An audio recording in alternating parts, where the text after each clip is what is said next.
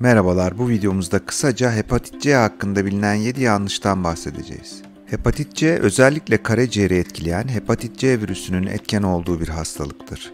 Hepatit C virüsü bir RNA virüsüdür. Hepatit C tedavi edilmezse siroz ve karaciğer kanserine neden olabilir. Hepatit C hakkında doğru olarak bilinen 7 yanlış şunlardır. 1. Hepatit C hastalığının aşısı vardır. Yanlış. Hepatit A ve B için aşı mevcutken hepatit C virüsünün aşısı yoktur. 2. Hepatit C cinsel yolla bulaşan bir hastalıktır. Tamamen yanlış olmasa da hepatit C hastalığı en çok kan yoluyla bulaşan bir karaciğer hastalığıdır. Cinsel yolla da bulaşabilir fakat risk daha düşüktür.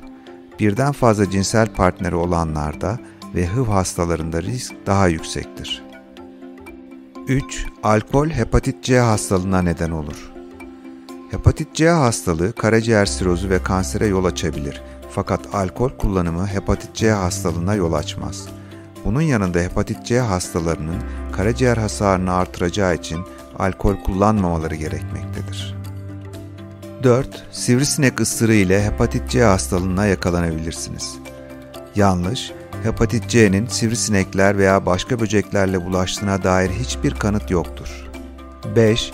Uyuşturucu maddeler hepatit C hastalığına neden olur. Yanlış, uyuşturucu maddeler hepatit C'ye neden olmaz. Fakat hepatit C kan yoluyla bulaştığı için uyuşturucu bağımlılarının aynı enjektörü kullanması ile hepatit C hastalığına yakalanabilirler. 6. Hepatit C emzirme yoluyla bulaşır. Yanlış, emzirme ile hepatit C virüsünün bulaştığı gösterilememiştir.